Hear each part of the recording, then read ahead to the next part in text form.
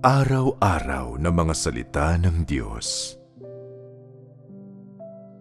Datapwat sinasabi ko sa inyo na dito ay may isang lalong dakila kaysa sa templo. Datapwat kung nalalaman ninyo kung ano ang kahulugan nito, habag ang ibig ko at hindi hain, ay hindi sana ninyo kinondena ang mga walang kasalanan sapagkat ang anak ng tao ay Panginoon maging ng araw ng Sabath. Ano ang tinutukoy ng salitang templo rito? Sa madaling salita, tumutukoy ito sa isang kamanghamanghang mataas na gusali at sa kapanahunan ng kautusan, ang templo ay lugar para sa mga saserdote upang sambahin ang Diyos nang sinabi ng Panginoong Hesus na dito ay may isang lalong dakila kaysa sa templo, sino ang tinutukoy na isa? Maliwanag, ang isa ay ang Panginoong Hesus sa katawang tao sapagkat tanging siya ang mas dakila kaysa sa templo. Ano ang sinasabi ng mga salitang iyon sa mga tao? Sinasabi ng mga ito sa mga tao na lumabas sila sa templo. Iniwan na ng Diyos ang templo at hindi na gumagawa sa loob nito kaya dapat hanapin ng mga tao ang mga yapak ng Diyos sa labas ng templo at sundan ang kanyang mga hakbang sa kanyang bagong gawain. Nang sabihin ito ng Panginoong Hesus, may saligan sa likod ng kanyang mga salita na sa ilalim ng kautusan, itinuturing ng mga tao ang templo bilang isang bagay na higit na dakila kaysa sa Diyos mismo. Ibig sabihin, sinamba ng mga tao ang templo sa halip na sambahin ang Diyos. Kaya binalaan sila ng Panginoong Hesus na huwag sambahin ang mga idolo bagkus sa halip ay sambahin ang Diyos sapagkat siya ang kataas-taasan. Kaya sinabi niya, habag ang ibig ko at hindi hain.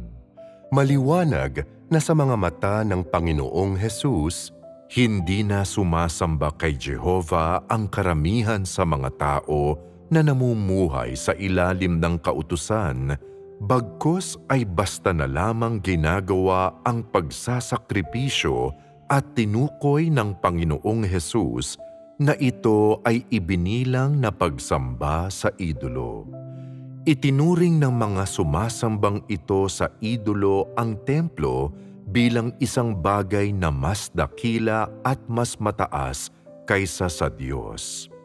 Tanging ang templo ang nasa kanilang mga puso hindi ang Diyos, at kung mawala sa kanila ang templo, mawawala sa kanila ang kanilang tahanang dako. Kung wala ang templo, ay wala silang ibang mapagsasambahan at hindi maisasagawa ang kanilang mga pagsasakripisyo. Ang kanilang tinatawag na tahanang dako ay kung saan ginamit nila ang pagkukunwari ng pagsamba sa Diyos na si Jehovah upang makapanatili sa templo at maisagawa ang sarili nilang mga gawain. Ang kanilang tinatawag na pagsasakripisyo ay walang iba kundi ang pagsasagawa nila ng kanilang sariling personal na kahiyahiyang mga pakikitungo sa ilalim ng balat kayo ng pagsasagawa ng kanilang serbisyo sa templo. Ito ang dahilan kung bakit itinuring ng mga tao sa panahong iyon ang templo bilang higit na dakila kaysa sa Diyos. Sinabi ng Panginoong Hesus ang mga salitang ito bilang babala sa mga tao sapagkat ginagamit nila ang templo bilang isang balat kayo at ang mga sakripisyo bilang isang panakip para sa pandaraya sa mga tao at pandaraya sa Diyos. Kung gamitin ang mga salitang ito sa kasalukuyan, gayon pa rin kabisa at gayon pa rin nauukol ang mga ito. Bagaman naranasan na ng mga tao ngayon ang gawain ng Diyos na iba kaysa sa naranasan ng mga tao sa kapanahunan ng kautusan, magkatulad ang kalikasan at diwa nila. Sa konteksto ng gawain ngayon, gagawin pa rin ng mga tao ang kaparehong uri ng mga bagay gaya ng kinakatawan ng mga salitang higit na dakila ang templo kaysa sa Diyos. Halimbawa, itinuturing ng mga tao ang pagtupad ng kanilang tungkulin bilang kanilang trabaho. Itinuturing nila ang pagpapatotoo sa Diyos at ang pakikipaglaban sa malaking pulang dragon bilang mga pagkilos na politikal sa pagtatanggol sa mga karapatang pantao para sa demokrasya at kalayaan. Ginagawa nilang karera ang kanilang tungkulin na gamitin ang kanilang mga kakayahan, ngunit itinuturing nila ang pagkatakot sa Diyos at pag-iwas sa kasamaan bilang isang piraso lang ng relihiyosong doktrina na susundin.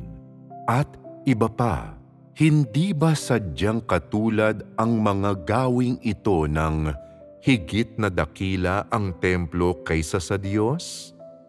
Ang pinagkaiba, dalawang libong taon na ang nakaraan.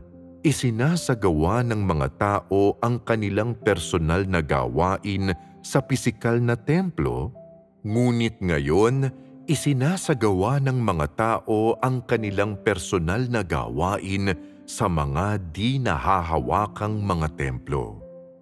Ang mga taong nagpapahalaga sa mga patakaran ay itinuturing ang mga patakaran na higit na dakila kaysa sa Diyos. Ang mga taong umiibig sa katayuan ay itinuturing ang katayuan na higit na dakila kaysa sa Diyos. Ang mga umiibig sa kanilang karera ay itinuturing ang kanilang karera na higit na dakila kaysa sa Diyos at iba pa. Ang lahat ng kanilang mga pagpapahayag ang nag-udyok sa akin upang sabihing, pinupuri ng mga tao ang Diyos bilang pinakadakila sa pamamagitan ng kanilang mga salita, ngunit sa kanilang mga mata ang lahat ng bagay ay higit na dakila kaysa sa Diyos. Ito ay dahil sa sandaling makakita ng pagkakataon ang mga tao sa kanilang daan ng pagsunod sa Diyos upang maitanghal ang sarili nilang mga talento o upang maisagawa ang sarili nilang gawain o sarili nilang karera. Inilalayo nila ang kanilang mga sarili mula sa Diyos at inilalagak ang kanilang mga sarili sa minamahal nilang karera. At tungkol naman sa ipinagkatiwala sa kanila ng Diyos at sa kanyang kalooban, matagal nang naitapon ang mga bagay na iyon. Anong pinagkaiba ng katayuan ng mga taong ito at yaong nagsagawa ng kanilang sariling gawain sa loob ng templo dalawang libong taon na ang nakararaan.